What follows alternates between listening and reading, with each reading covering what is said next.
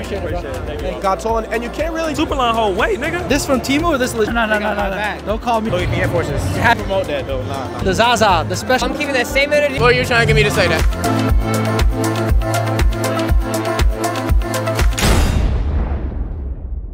I'm gonna show you guys how you can flip $30 of some stinky, moldy fish into some grade A work, all right? These jeans right here, they've been sitting on the shelves. We bought them closeout. So we took two jeans, we cut one pair to make them into jorts. We sew them together and we make these right here. So this is essentially $20 that we rework, regrip, reflip. I learned it from Pratt City Savage. Take it, steal it, regrip it, retrip it, triple and double it. That's what we're doing, and we sell these for 60. So we're turning $20 into 60. And here's the crazy thing, all right? This right here is a new product that we're developing. These scraps are from the other scraps. So this one, we take it $10 and regripping it, tripling it, flipping it, dipping it, whatever Pratt City Savage said, and we sell these for 60. That's how you turn $30 of stinky fish and turn it into grade A smokable work. Right, the ruler? We ain't going for that. He trying to get another interview right now. I- I'm ready for the next interview. Super The ruler said the price just went up. Price. Sky high. Price just went sky fucking high. He always give me when I ain't got no rule on. Remember what you told me? It's not on you, it's in you. Hey, this shit in you, not on you, man. You know what I'm talking about? Hey, man, I'm dripping. No chain, it don't matter. Keep flossing. This shit is not out there. This shit is not you. This shit in me, not on me. All right, guys, now cue the beautiful montage of us going to Got Sole.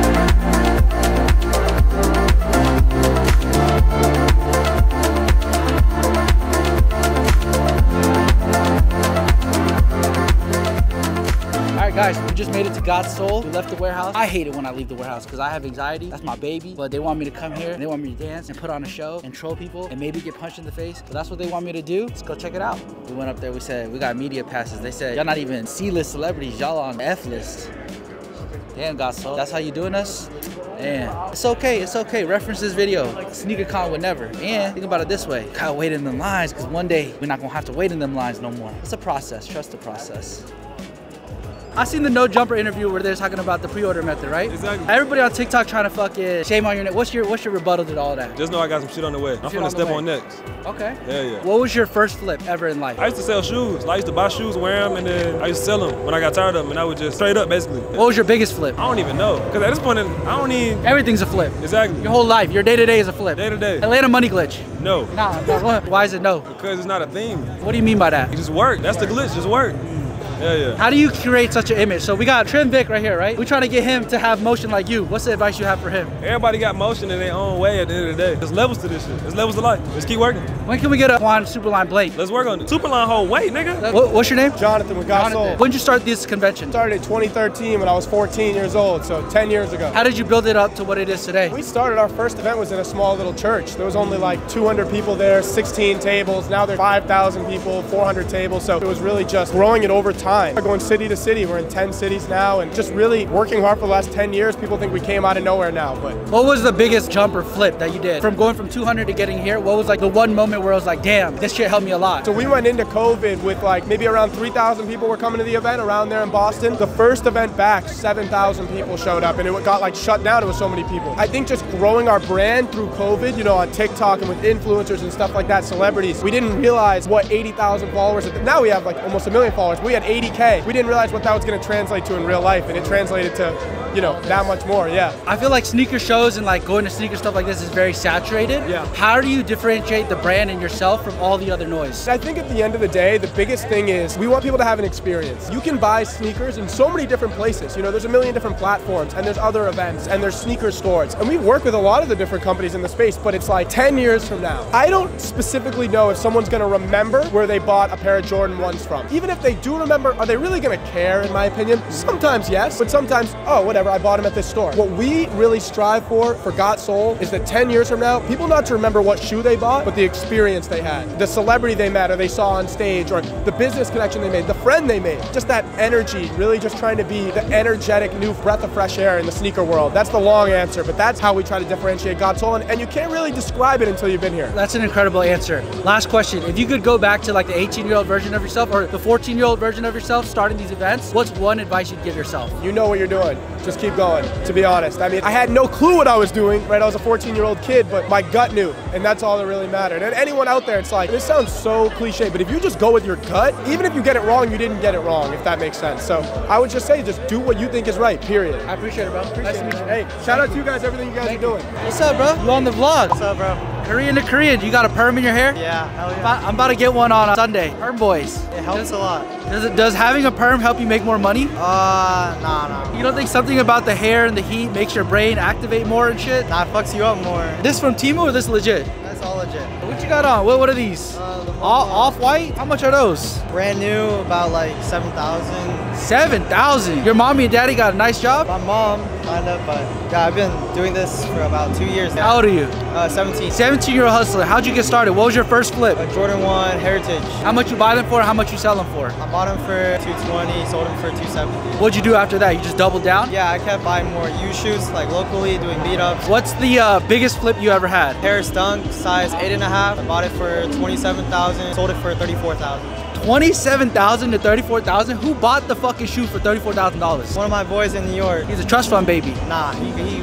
he been working. That's crazy. Listen, if you spending $34,000 on a shoe, you're too rich for me. I can't be, I'm not in that class. So what's the hustle now? Is you got, I see you got a camera guy here, right? Yeah, I'm trying to start up content. Might as well, cause I'd be going to like every event. 17 is crazy. Have you made a sale today? No, I'm just buying today, and I sell them on my story on Instagram. What's your Instagram if they want to follow you? Switch sneakers on Instagram. What's the heat you got? Show me the bangers. What is the Alright. YouTube need to see? Right here we got some Tiffany SBs. Yeah, how much are these? I'm asking a thousand for them.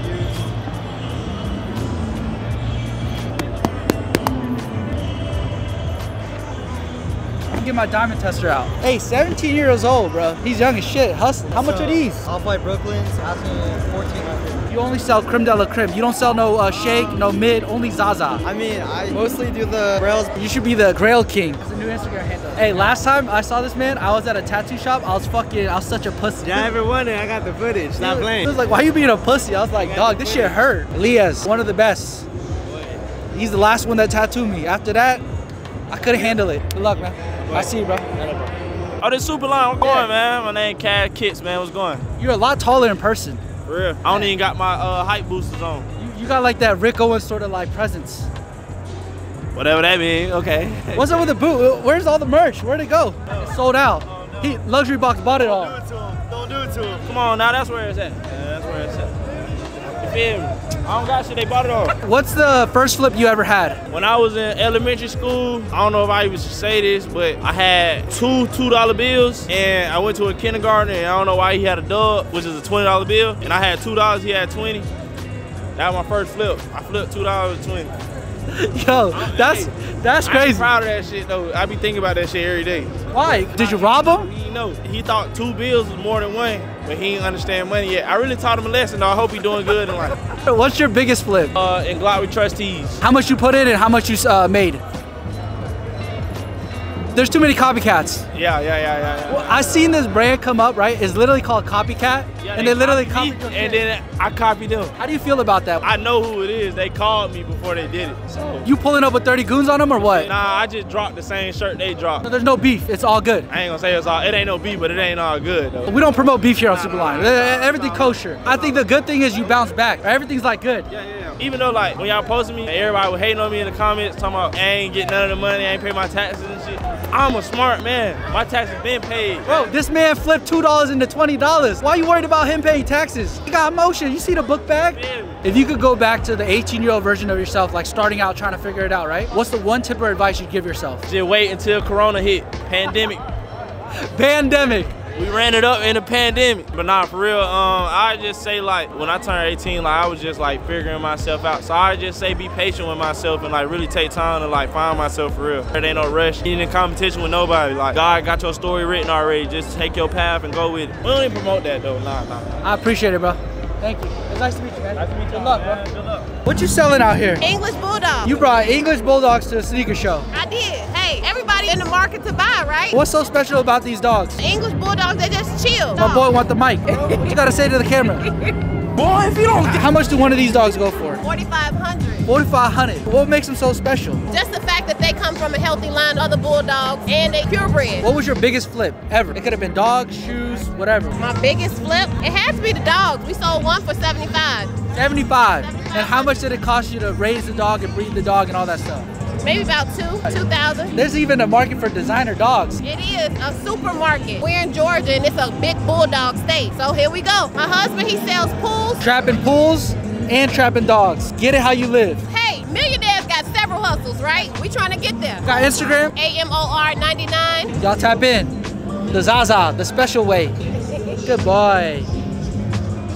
Backpack what's up, bro? I feel like you've been viral on the internet before like it was a thing, right? What's the one thing you've learned from that experience? You gotta be consistent. You gotta keep it going. Everyone knows I got big for the dance, so I started getting into music. I do production now. I play piano. Not everyone knows about the things that I do yet, but I still have a lot of followers on social media that follow what I do now. So I'm focusing on building that rather than still doing the dance everywhere. When you did the dance, did you know it was gonna go viral? No. So I'm keeping that same energy for the next time. What was the moment when you went viral? Like, how did that feel? Were you in your room? Like, what happened?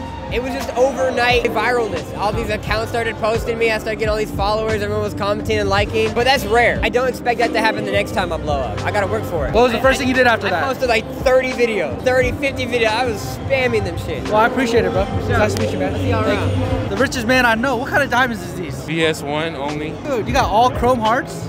the only way. How much is this setup right here? I'd say like eight grand maybe. Eight grand. On the low end. Whoever needs eight grand, come I holla keep it humble, How much is the bag? like 15 grand. So you got what, like 25 racks on you right now? Just in chrome. And the glasses and the and hat. a hat and the earrings. We keep going. What, what are you gonna do when they send the goons after you? They not, because I got Superline behind me. no, no, no, no, no. back. Don't call me. Don't call go me. through him. Don't call me. Don't call me. And you got the see CPFMs. it. What are you doing? You vending or you just Yeah, buying? shit? vending, trying to buy. Everybody taxing though. What's the key to buying good? You just gotta be confident, bro. Because if you're telling people offers and they know that you really got the money for it, they might just take it just because you're confident. Cash is king, bro. When you buy, are you always just trying to buy low or like how, how do you buy to win? When it comes to heat shoes, like three, four thousand dollar pairs of shoes, I try to buy a little low just because the profit margin's gotta be high. So I'm not gonna tie in a couple grand to make nothing. But the smaller shoes, I'm making like 70, 100 bucks. I'm not tripping on it. We trapping shoes. What's the biggest buyout you had at a show? Probably like 10 grand, nothing crazy. 20 something shoes. What's the first flip you had and what's the biggest flip you had? My first flip was Yeezy Pirate Blacks, 350s. I got them for like 200, sold them for 800. I was like 15. Biggest flip, I paid seven grand for a one of 28 Jordan sample called Dress Code Jordan 4s. You can look them up. Sold them for like 28.5, damn near 30 grand. And that, kids, is how you afford to be dripped out in $30,000 worth of chrome. Exactly.